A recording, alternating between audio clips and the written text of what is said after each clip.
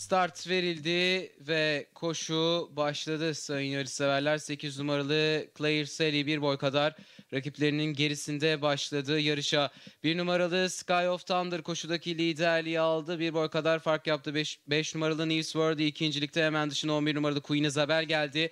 Bir boy kadar geride 7 numaralı Always Star. Onun bir boy kadar gerisinde 2 numaralı Armatore. 2 boy kadar geride Dışa 8 numaralı Claire Sale atak yaptı. Bir boy kadar geride 4 numaralı King of Turf. Dışında 3 numaralı Greenwish'i izliyorum. Safkanların 5-6 boy kadar gerisinde 12 numaralı Thunder Woman. Hemen içinde 9 numaralı Fast Dancing Girl sırasıyla Safkanlar son 600 metreye doğru ilerliyor. 1 numaralı Sky of Thunder kaçıyor. Fark 2 boy kadar. İkincilikte 11 numaralı Queen Isabel var. Onun yarım boy farklı gerisinde içinde 5 numaralı Eastworthy. Daha sonra 7 numaralı Always Star dışında 8 numaralı Clay Sally sırasıyla viraj dönüldü.